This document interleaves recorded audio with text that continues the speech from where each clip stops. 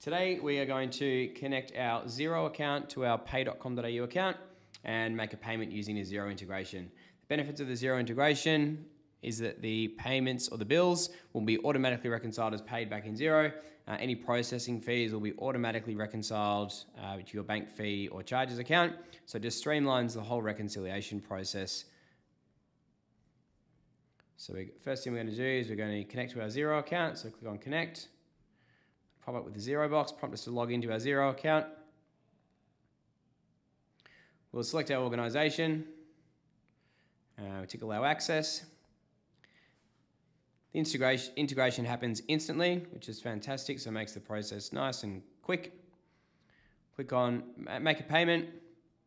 Now we're going to click on supplier payment and we're going to import from Xero. So any bills that we've currently got awaiting payment in Xero, it's automatically going to bring those across into your pay.com.au account we can simply select which ones we'd like to pay. And then once we complete the payment in pay.com.au, those payments will be automatically reconciled as paid back in Xero.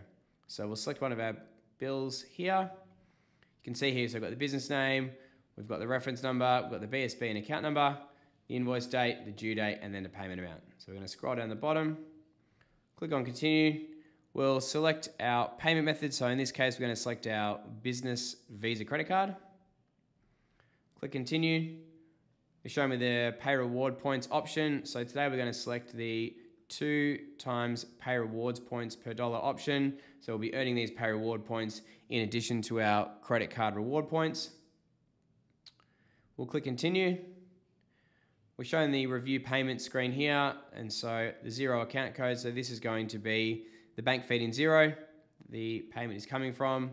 And we can see here as well this is the processing fee account code. So we're going to select the 404 bank fees account. So any processing uh, or credit card fees will be automatically reconciled to this 404 bank fees account in Xero. So right down the bottom, we'll tick the acknowledgement box down here. We'll click on submit. We can see that that payment is sitting awaiting authorization. So we'll go over, we'll tick this box. We can authorize that payment and that will be processed. Because we've paid this bill using the Xero integration, once Xero reconciles overnight tonight, when we log into our Xero account tomorrow, that bill will be automatically reconciled as paid. It'll be matched up with the corresponding bank feed, and we just click the green OK single touch reconciliation button. Any uh, processing fees will be automatically reconciled to the 404 bank fees charges account that we've selected in Xero.